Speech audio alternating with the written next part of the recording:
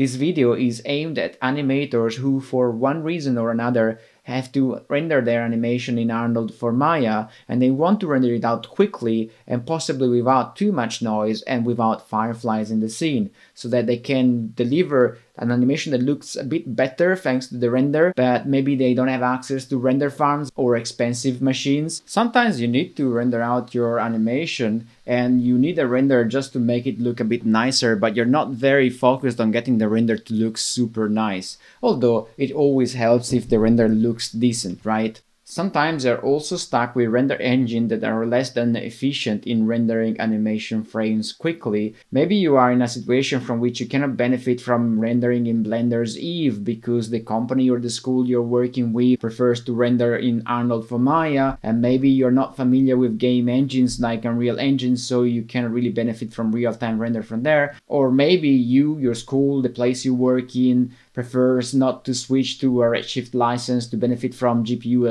assisted rendering, in which case your go-to solution would be Arnold for Maya. It comes free with Maya, so a lot of companies just rely on that, despite maybe the benefits of other platforms.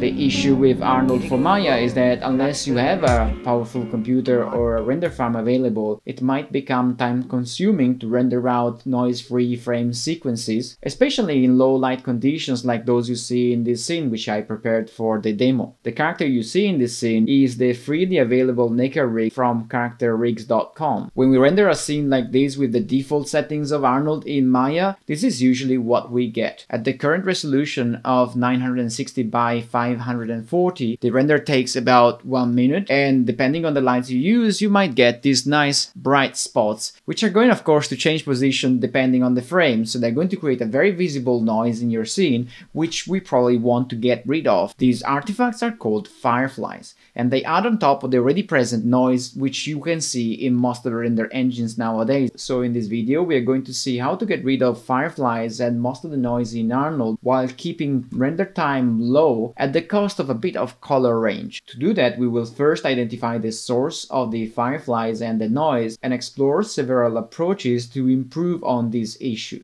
Current render time is 59 seconds or about 1 minute.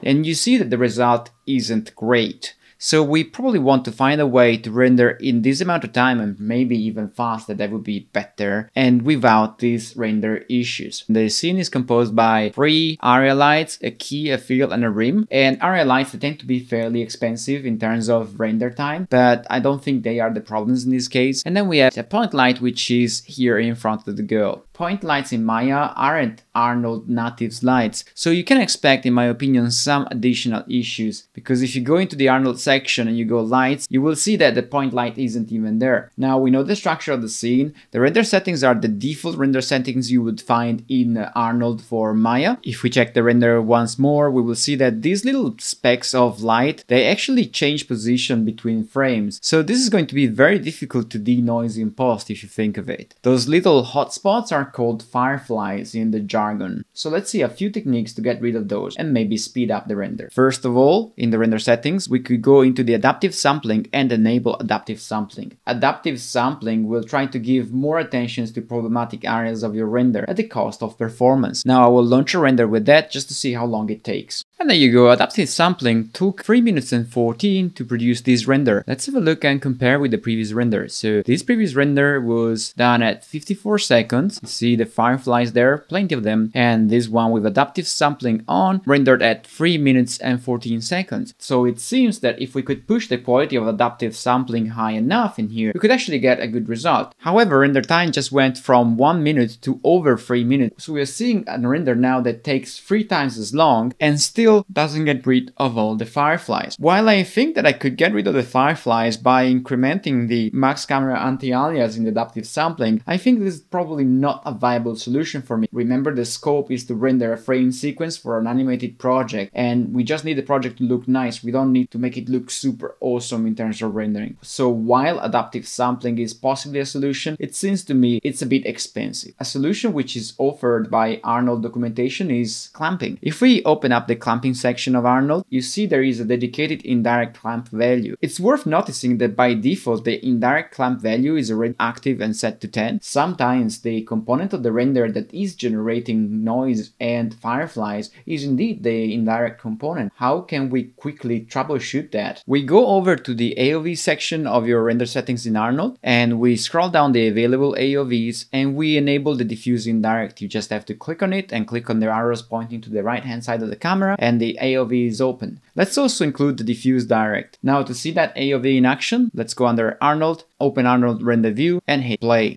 In the top left corner of the Arnold render view, you will find a drop down menu which is by default set to beauty. If you click on it, you can expand it and see the AOVs. Please notice diffuse direct is there and you see that the diffuse direct is actually quite okay. Well, there is noise in the shadows, that's okay, but apart from that, there are no fireflies in there. If I click on diffuse indirect instead, the story is different. You see how many fireflies we get in here. So the problem is indeed in the indirect section of the render. All these AOVs, they not only help us while compositing the shot, but they also make it easier to diagnose the problem. So now that we discover that the problem seems to be in the indirect component of the render, let's go down to the Arnold renderer settings and let's try to do what the documentation suggests, which is to lower the indirect clamp value. So I will lower first to 5 just to see what's the effect it has. And you see the render time has gone down to 34 seconds with clamping, still loads of fireflies in here. Then I want to check with the previous render, which was 3 minutes and 14 seconds. So you see we get more fireflies than those we got with adaptive sampling, and they're vaguely less bright than the first render we made, vaguely. So a value of 5 in clamping doesn't seem to make much difference. With the clamping set to 2, you see that we get considerably less fireflies than before, less intense. The render still takes about 33 seconds so not too bad. Now one thing you need to know is that by clamping the values in here, you're actually clamping the color range of your render. So if you plan to do aggressive color correction on it, you might get some limitations there. But nevertheless, these fireflies are still here. So we'll clamp down to dot 5 and you see we have even less fireflies. So I'm pretty sure I could lower the clamp value to 0.05. We get practically no fireflies and a render time that is still at around 32 seconds. So not bad at all. There is still noise in the scene. However, if I increase the exposure of the render, you will notice that this is fairly noisy. And this is something you could fix possibly by increasing the samples of the light or by increasing the diffuse samples in the Arnold renderer or even possibly by enabling adaptive sampling. We will look into this noise later later on. Right now, I'm very curious to see if there's an alternative to clamping the values there. So we know for a fact that the problem arises in the indirect component of the light. So I want to see if maybe there's a way to tackle this issue from another angle. And what I'm thinking of right now is maybe to set the indirect clamp value back to 10, so the default we found it at, go into the lighter light so the point light, which I mentioned, could have maybe given us some problems, and it's definitely the source of our problems, in fact. And in the attribute editor for this light, I want to go under the Arnold section and scroll down until I see visibility. And there, I want to set the indirect visibility to zero. Now, in practice, this will affect the indirect component on the of the light, and you will see that we will lose some color range. So I will launch a new render,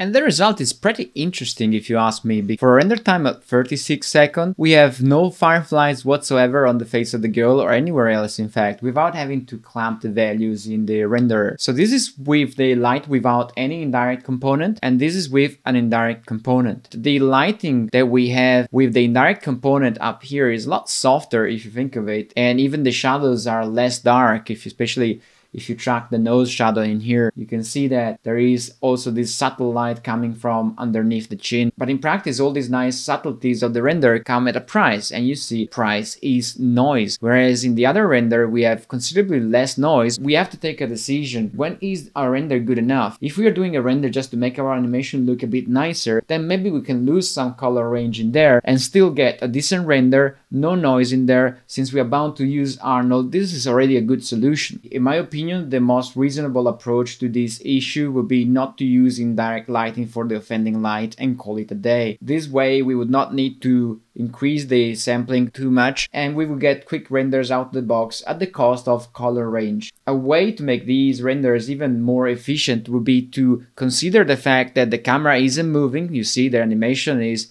made with a static camera and put the character on its own render layer separated for the environment so that you could tweak the render settings based on the render layer you're on and get the best settings for the environment and the best settings for the character so that your render time would be a lot faster. Following this approach of splitting the character, the static environment and the dynamic environment on different layers, I can give each layers different render settings and I get virtually noise-free pictures in Arnold. So with 1 minute per frame at 960 by 540, I get a pretty good result. With the additional advantage that I can separate lighting passes so you see I can control individually the dynamic lighting and the static lighting. I can individually control the static background and the dynamic background. So to conclude, I think there is a good trade-off in this case between the quality of the final render and the speed at which this happens. And that's it for now. I hope that thanks to these videos, you will be able to render your animation in a bit quicker way than otherwise if you are stuck with Arnold in Maya.